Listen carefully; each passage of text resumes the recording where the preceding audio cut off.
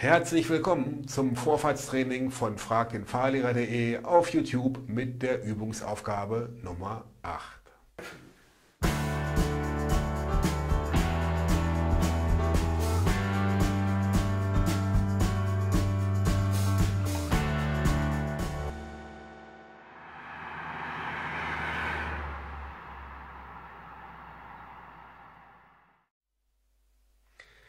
Ja, diese achte Übungsaufgabe, die hatten wir am 31.10.2017 auf Facebook besprochen.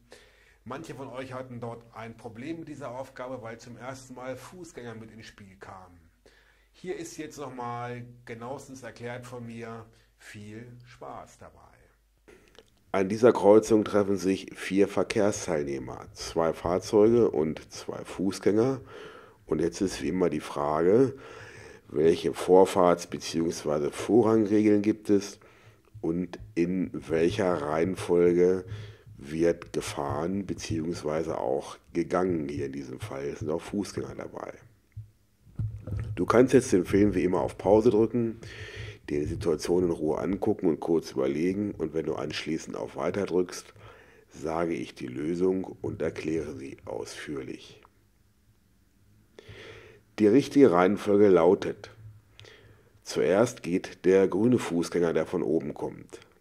Danach fährt das Motorrad, danach fährt das gelbe Auto und zum Schluss geht der blaue Fußgänger.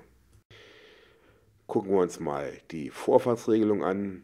Kein Polizist, keine Ampeln, keine Vorfahrtsregeln im Verkehrszeichen. Also ist an dieser Kreuzung Vorwärtsregelung rechts vor links, brauchen wir aber hier nicht zu beachten, weil beide Fahrzeuge, die hier sind, haben niemanden auf ihrer rechten Seite. Darum haben wir hier überhaupt keine Vorfahrtssituation in diesem Beispiel. Vorrangregeln müssen wir hier beachten und zwar müssen Linksabbieger den Gegenverkehr durchlassen. Wir haben hier einen Linksabbieger. Und dann muss man auch, wenn man abbiegt, alle Fußgänger und Radfahrer, die man am Fahrbahnrand in Längsrichtung kreuzt, auch durchlassen. Und die Situation haben wir hier auch. Dann sprechen wir mal die einzelnen Verkehrsteilnehmer der Reihe nach durch. Fangen wir an mit dem gelben Auto. Das gelbe Auto ist Linksabbieger und Linksabbieger müssen ihren Gegenverkehr vorlassen, also muss das gelbe Auto das Motorrad vorlassen. Dann muss man generell beim Abbiegen alle Fußgänger und alle Radfahrer durchlassen, die die Straße überqueren, in die man gerne einbiegen möchte. Und das wäre in diesem Fall der grüne Fußgänger. Das gelbe Auto muss also auch den grünen Fußgänger vorlassen. Dann machen wir weiter mit dem Motorrad. Das Motorrad ist kein Linksabbieger, muss deshalb auch keinen Gegenverkehr vorlassen. Aber das Motorrad ist Rechtsabbieger und auch Rechtsabbieger müssen alle Fußgänger und alle Radfahrer durchlassen, die die Straße überqueren, in die sie gerne einbiegen möchten. Darum muss das Motorrad auch den grünen Fußgänger durchlassen. Der grüne Fußgänger hatten wir gerade schon geklärt, darf vor den beiden Fahrzeugen die Straße überqueren, weil die beiden Fahrzeuge in seine Straße einbiegen wollen.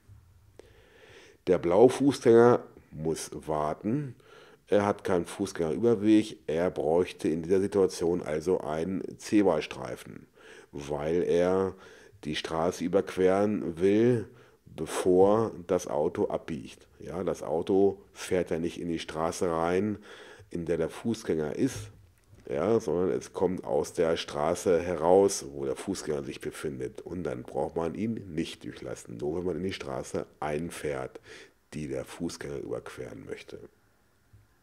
Jetzt gucken wir uns mal den Ablauf an. Zuerst lassen beide Fahrzeuge den grünen Fußgänger die Straße überqueren. Dann lässt das gelbe Auto als Linksabbieger das Motorrad vor und fährt anschließend hinter dem Motorrad auch in die Straße ein. Und zum Schluss geht der blaue Fußgänger über die Straße. Das war die Aufgabe 8 gar nicht so schwer gewesen. Fußgänger haben also nicht immer Vorrang, trotzdem natürlich die Fußgänger immer mit Vorsicht genießen. Wir wissen nicht, ob sie die Verkehrsregeln kennen, denn sie brauchen ja keinen Führerschein zu haben. Wenn ihr Lust habt, weitere Aufgaben zu lösen und mitzurätseln, guckt mal hier in meinen YouTube-Kanal. Dort ist noch einiges, was ihr euch da anschauen könnt. Ansonsten einfach mal bei fragdenfahrlehrer.de oder bei Facebook bei fragdenfahrlehrer.de vorbeischauen. Dort bekommt ihr regelmäßig nützliche Infos rund um den Führerschein und ihr kriegt Hilfe dabei, eure Führerscheinprüfung erfolgreich zu bestehen. Ansonsten wünsche ich euch wie immer am Ende meiner Filme alles, alles Gute für euren Führerschein. Ihr schafft es. Wir sehen uns. Tschüss. Bis zum nächsten Mal.